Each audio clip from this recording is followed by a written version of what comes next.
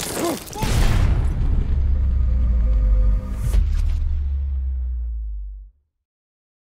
Right here today in Battlefield 1. We got three days. You guys got three days to complete this mission to get 300 kills with any shotgun of your choosing, any shotgun of your choice. What do you get in return? You get the Coupe Machete. This thing is like the French version of the Machete. Machete. I like that word, man. I don't even, I like Machete. I like that word. Sounds very rugged, sounds very aggressive, and it sounds like it'll chop something off, and that's exactly what this thing is made for. So, it's an 80 damage melee weapon in Battlefield 1. I've been using the Saber because it's also a high damage melee weapon, but this thing it's the same as the Saber 80 damage in a slightly smaller, more beautiful form factor, very sleek design, and uh, I think you guys might really enjoy this thing. So, very quickly, a couple tips I want to go through very quickly to help you guys with shotguns. A few tips. This is probably going to be the fastest unlock video that I've ever done for you guys few few tips and then we're going to get into very quickly how do you actually unlock it once you've completed the assignment? Because there's been a lot of confusion with that right there. So first of all when you're using shotguns in battlefield 1 pick the shotgun of your choosing. That's obvious right? If you my personal recommendation guys if you have the in the name of the czar dlc and you have the model 1900 unlocked already i say use that shotgun. That thing is an absolute beast in close quarters. You only got two rounds though so make sure you pop off those rounds you go right on target. I recommend the buckshot for that. If you don't have the in the name of the Czar DLC and you want to use a regular shotgun, I highly recommend the Model 10 Factory, the factory variant, because it quickly regains its accuracy after firing, and that is just one, it's another beast of a shotgun that aside, so you got a couple of them. Of course, use the ones that you're choosing.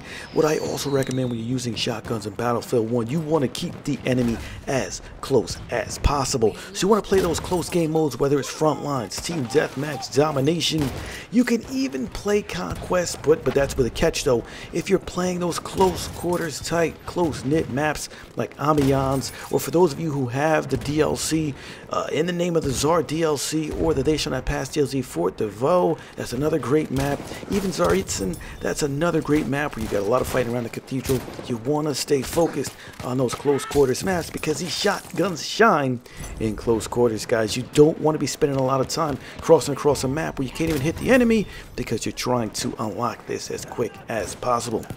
Another tip guys with aiming shotguns, with aiming with the shotgun, what you want to do is for the most part, unless you're using slug rounds guys, just hip fire. These shotguns strive, they survive, and they keep you alive if you're hip firing with the shotgun. Don't waste valuable seconds, don't waste valuable milliseconds by pulling in the sights because guess what? By the time the enemy spots you, you should have already been sending rounds down target. So listen guys, do not pull in the sights. Hip fire with that shotgun. Keep that click ready. Keep that quick twitch reaction ready and just hip fire for better accuracy with these shotguns, guys.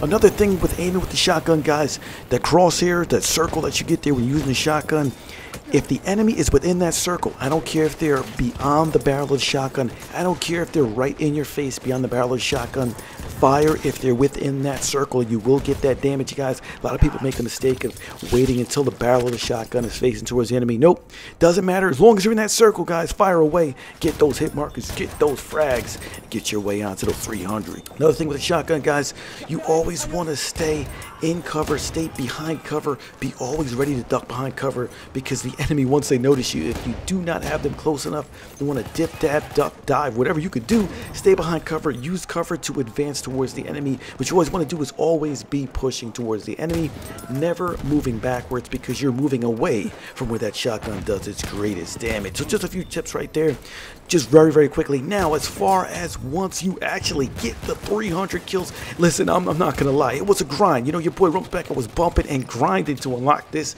shotgun. Once you get it, you can't just automatically just go into your slot there and think that it's going to already be there. Negative. No, it will not be there. What you have to do is you actually have to go into soldiers, then go into mission. Once you go into missions, you can open it up and then you have to claim your reward, man. You got to claim your reward. Once you claim your reward, it is still not ready. Then you've got to go to your battle packs, go to open the superior battle pack that it comes in, and then you will have this awesome machete for you to use. All right, guys, hopefully you enjoy.